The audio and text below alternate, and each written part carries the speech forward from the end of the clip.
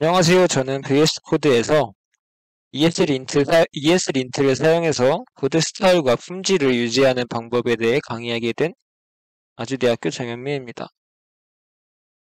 이 강의는 ESLint의 설치, 설정, 그리고 사용법에 대해 다룰 것입니다. 강의를 시작하기에 앞서 Node.js가 선행적으로 컴퓨터에 설치되어 있어야 함을 알려드립니다. 먼저 ESLint가 무엇인지에 대해 먼저 소개하겠습니다. ESLint는 JavaScript의 코드의 오류를 찾아내고 코드 스타일을 일관되게 유지하기 위한 정적 분석 도구입니다. 팀 내에서 코딩 규칙을 강제하거나 개인 프로젝트에서 코드 품질을 높이는 데 유용하게 사용됩니다.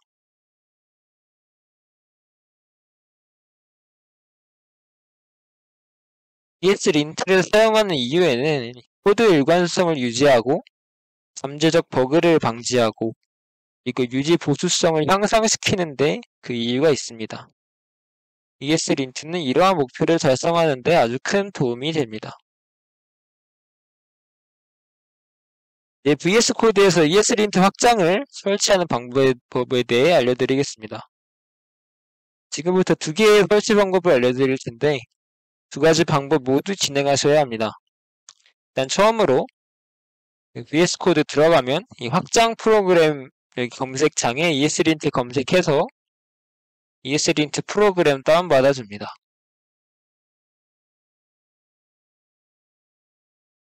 다음으로 ESLint를 사용하고자 하는 workspace 그 디렉토리 내부에서 터미널을 열고 아래 노란색 글씨로 되어 있는 명령어를 입력해서 ESLint를 설치할 수 있습니다. 여기서는 npm을 사용하여서 ESLint를 설치하는데 Node.js를 설치하시면 npm이 거기 안에 포함되어 있기 때문에 npm을 사용하실 수가 있습니다. 해당 명령을 입력하시면 현재 위치하는 워크스페이스에 여기 파일이 생기는 것처럼 ESLint가 설치가 되게 됩니다. 다음으로 ESLint의 초기 설정을 이 설정을 초기화해주는 명령입니다. 여기 노란색 글씨로 된 명령을 입력하시면 이제 ESLint를 초기화하는 명령어인데 이 명령을 입력하면 아래 이렇게 사용자의 작업 환경을 물어보는 그런 질문들을 합니다. 터미널에서. 거기에 이제 자신의 프로젝트에 맞는 답변들을 하면은 이제 적절하게 초기화를 할 수가 있습니다. 이렇게 설정을 완료하면 파일이 하나 생깁니다. eslint.config.mjs라는 파일인데 이 파일이 이제 eslint 설정 파일입니다. 지금 현재가 이제 아무것도 만지지 않은 초기 상태의 이 설정 파일인데 여기 export default 부분을 하나씩 좀 간단하게 설명하면 이 파일 부분은 ESLint가 검사할 파일 패턴을 지정하는 부분입니다. 이제 이 확장자, 이런 확장자의 파일들을 검사하겠다는 말인데 여기서는 이제 JavaScript, TypeScript, 그리고 JSX, TSX 파일을 모두 포함하게 설정되어 있습니다. 네, 그 아래는 이제 parser 옵션을 설정하는 부분인데 여기서 이제 JSX가 true로 설정되어 있습니다. JSX는 이제 JavaScript의 이제 확장판이라고 생각하시면 되는데 ESLint가 JSX 구문을 이해할 수 있도록 설정하는 룰입니다. 그 아래는 브라우저 환경에서 사용되는 글로벌 변수를 설정하는 겁니다. 이 코드 이렇게 설정함을 통해서 window나 document 같은 글로벌 변수를 사용해도 오류가 발생하지 않습니다. 그 아래 줄들은 이제 아까 터미널에서 진행했던 그 개인 프로젝트에 맞는 설정들 있잖아요. 이거 이거에 맞게 이제 첫 번째 줄은 ESLint의 기본 추천 설정을 사용하겠다. 그런 의미고, 이제 그 아랫줄은, 그니까 이제 제가 TypeScript를 사용한다고 체크를 해서, TypeScript에서도 ESLint의 기본 추천 설정을 사용하겠다. 그리고 아래는 아까 이제 React를 사용한다고 답변을 했기 때문에 React에서도 이제 plugin에서 제공하는 기본 추천 규칙을 사용하겠다. 이런 의미입니다. 이제 이 기본적인 설정 아래에 룰이라는 키를 추가해서 저희가 이제 수동으로 원하는 규칙을 ESLint 규칙을 프로젝트에 선언할 수 있습니다. 이렇게 이 화면이 지금 ESLint 규칙을 하나 선언하는 장면인데요. 여기서는 이제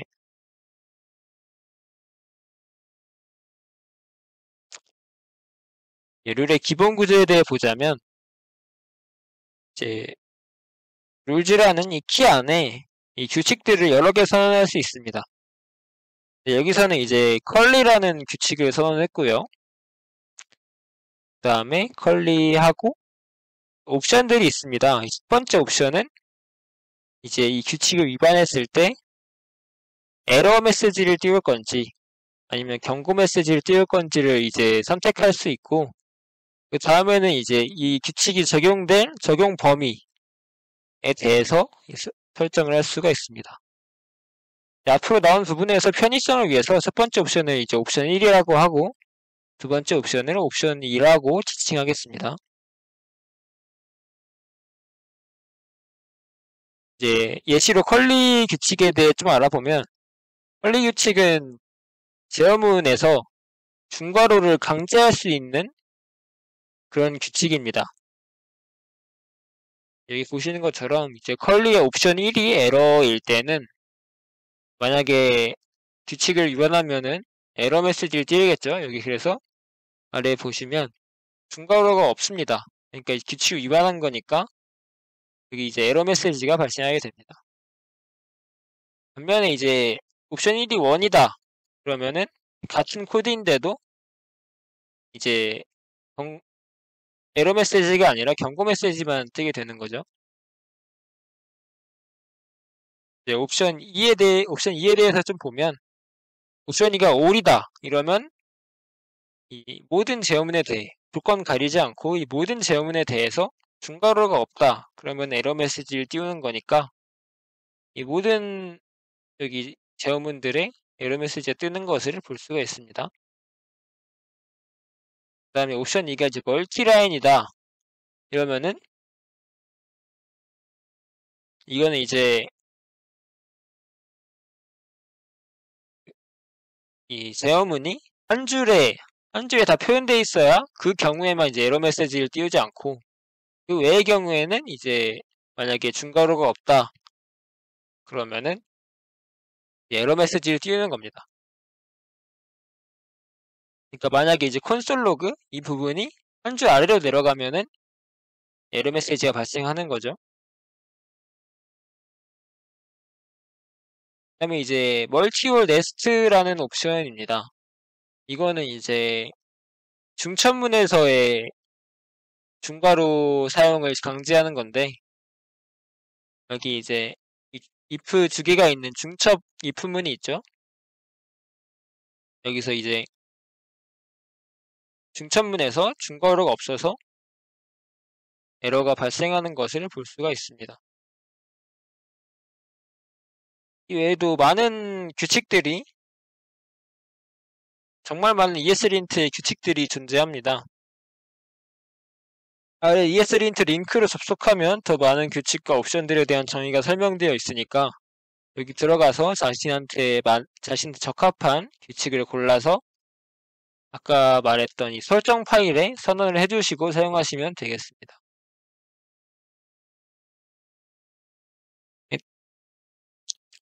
다음으로 ESLint의 가장 정말 유용한 기능인 자동 수정, 코드 자동 수정 기능에 대해서 알려드리겠습니다.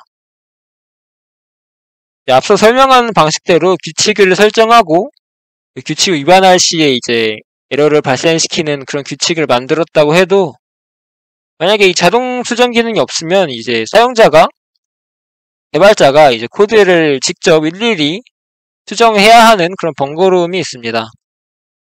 네, 이렇게 자동 수정 기능을 설정을 하면 저장을 하기만 해도 본인이 설정한 ESLint 규칙에 맞게 자동으로 코드가 수정되는 그런 그런 옵션을 활성화할 수 있습니다.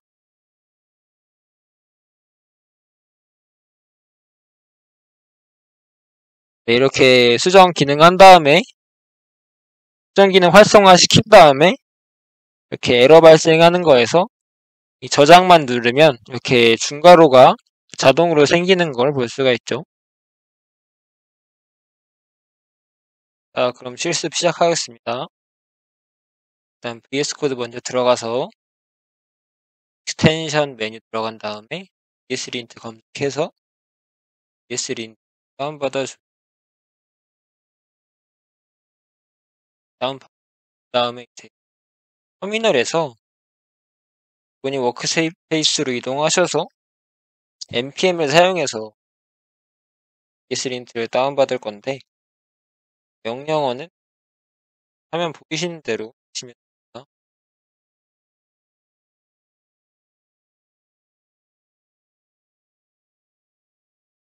명령어 치면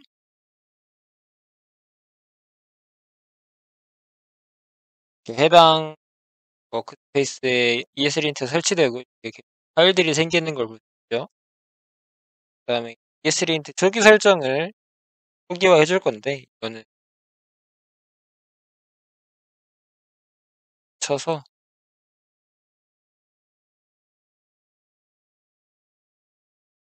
치면 그 본인의 작업 환경이 어떤 환경인지 물어보는 게 나옵니다. 여기서 자시, 자기한테 맞는 거를 선택하시면 되고 자바스크립트 EX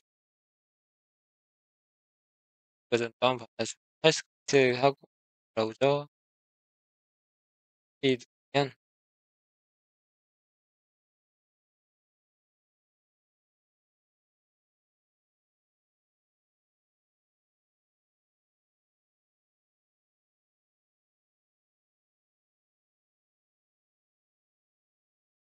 설치가 되고 이제 ESLint 설정 파일이 생겼죠. 이게 초기 상태입니다.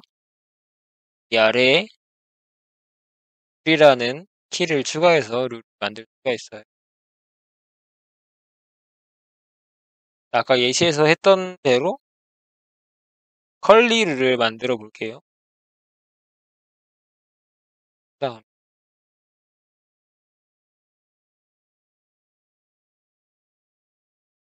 여기 옵션은 에러랑 로 시작을 할게요. 당해주 이제 이 규칙이 적용되는지 확인하기 위해서 테스트 파일을 하나 만들어줍니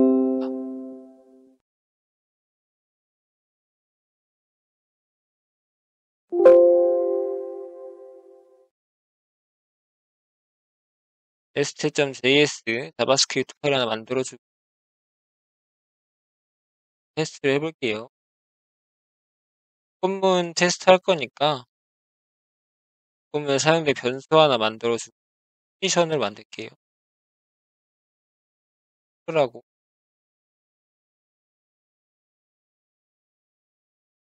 그문도 한번 만들어보겠습니다. 지금 옵션이 올이랑 에러랑 올이잖아요. 그러니까 이제 모든 부분에서 바로가 없으면 에러를 만들어야 됩니다. 로그를 끼면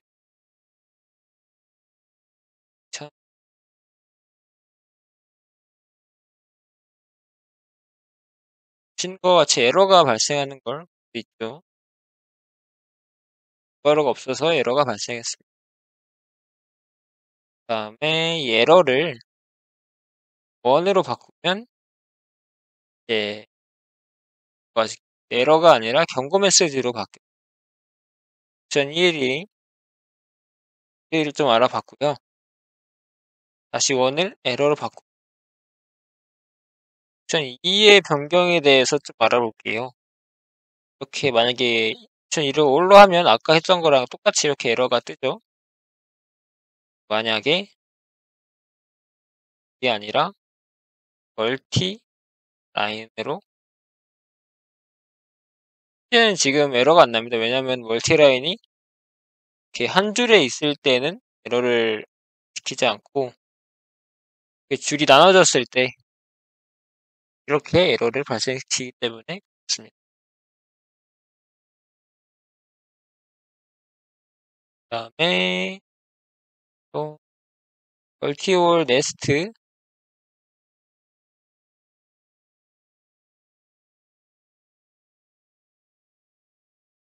이건 이제 중천문에서 천문 첫 조건문일 때 에러가 발생하는데 그 컨디션을 해서 첩으로 만들어주면 이렇게 에러가 발생하는 걸 볼 수 있습니다. 이런 식으로 룰을 설정하시면 됩니다. 자동 저장 기능을 어떻게 설정하는지 알아볼 건데 먼저 여기 지금 .vs 코드라는 폴더가 없죠? 만들어주고 그 다음에 이 폴더 안에 settings.json이란 파일을 만듭니다. 여기에 이제 따라 쓰시면 됩니다. 점 액션 세이브 점 스린트 이거를 하면 이제 ESLint 규칙에 내가 설정한 ESLint 규칙에 맞게 자동으로 코드가 수정이 됩니다. 확인해 보면 지금 6번이 에러의 multi or nest잖아요. 지금 근데 여기 중첩문인데 중첩문에 중괄호가 없어서 에러가 발생했죠. 그러니까 에러를 고치려면은 중괄호가 생겨야 돼요. 만약에 저장을 한번 누르면 이게 중괄호가 자동으로 생기는 걸 볼 수 있죠. 하지만 더 실험해 보면 이게 올로 하고 예. 없앤 채로